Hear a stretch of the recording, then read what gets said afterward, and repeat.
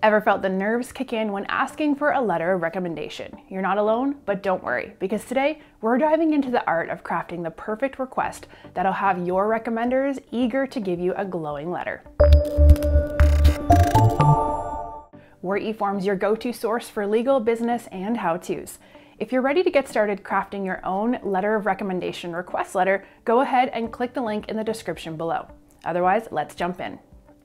In this video, we'll cover what a letter of recommendation request is, who to ask for one, and how to write one. First, what is a letter of recommendation request? A letter of recommendation request is a written note asking someone to write a formal letter of recommendation for you.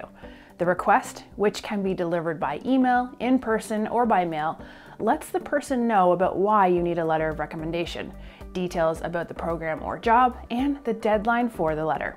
Okay, so who do you ask for a recommendation letter?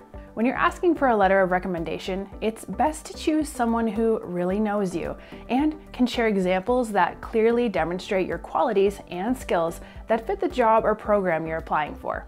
Examples can be a former teacher, professor, or instructor, a former or current supervisor, manager, or employer, a mentor, counselor, or coach.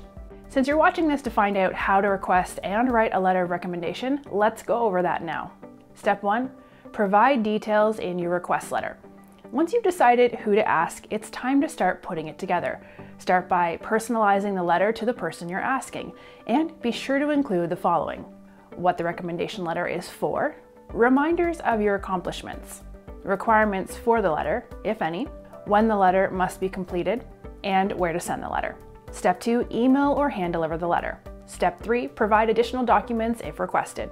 Step four, follow up before the deadline.